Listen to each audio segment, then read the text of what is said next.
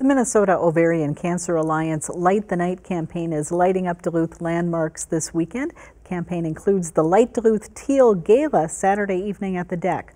Almanac North producer Greg Grell spoke with board chair Kris Greer about how COVID has impacted the work of the Cancer Alliance. COVID definitely has impacted it. However, we are still here for women and their families. We our uh, support groups are now virtual. Um, we are still here, though. Um, you know, we are raising funds for research. Uh, we are you know talking to women we are supporting them over the phone um, and we are about to have our first in-person event so we are so excited about that. And we are following the CDC and the Minnesota Department of Health guidelines. And, you know, safety first. So, what kind of advances have happened uh, maybe in the last year and a half, two years since the last time you were able to gather uh, in person? So research has continued. We are we have funded over nine and a half million dollars of research, which is very very exciting.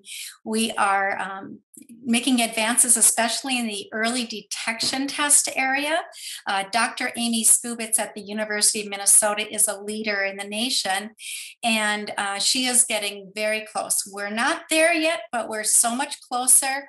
Um, you know, treatments are improving, but we still have, you know, a long way to go.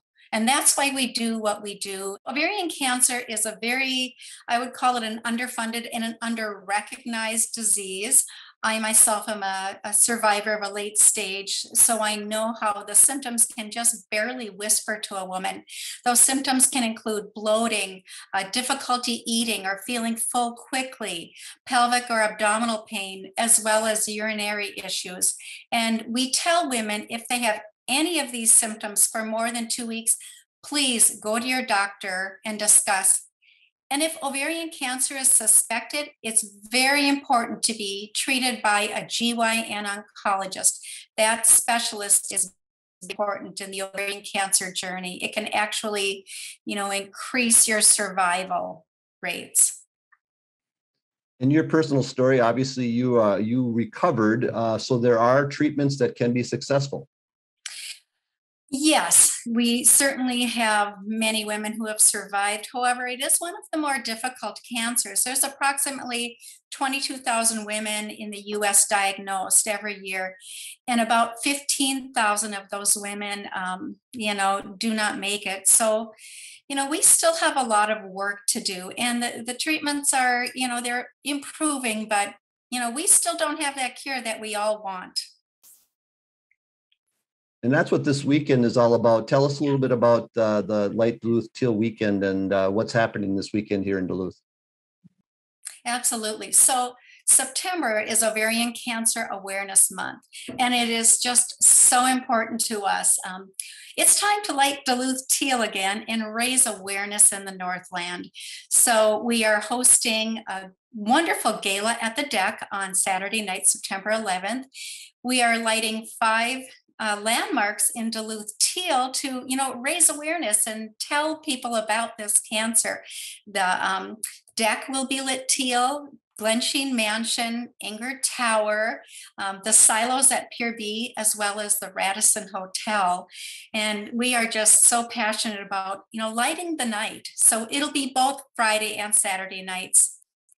And as far as the gala, that's taking place at the DECC if uh, someone wants to go, they need to call MOCA right away to get in. And that number is 612 822 0500.